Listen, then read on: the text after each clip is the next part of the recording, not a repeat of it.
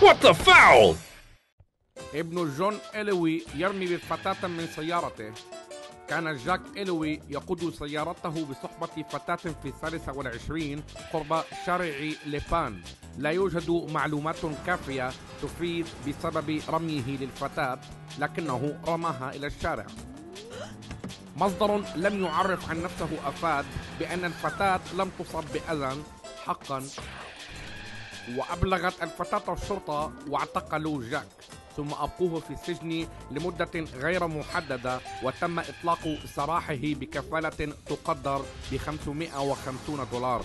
أمرت المحكمة جاك بعدم رمي المزيد من النساء من سيارته.